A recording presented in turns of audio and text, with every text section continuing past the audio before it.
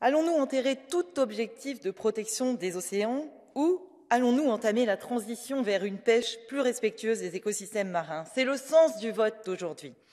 Par manque de courage politique et par calcul électoral, la droite et ses alliés fossoyeurs des océans proposent aujourd'hui un rapport démagogique dangereux qui ignore les alertes des scientifiques, minimise les impacts du chalutage de fond, refuse de reconnaître les bénéfices des aires marines protégées et conduit la pêche européenne dans une impasse.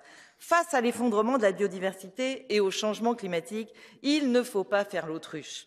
Avec son plan d'action, la Commission européenne a eu le mérite de proposer une série de mesures importante et de reconnaître l'impact du chalutage de fond sur les fonds marins. Il faut entamer dès maintenant la transition vers une pêche à faible impact.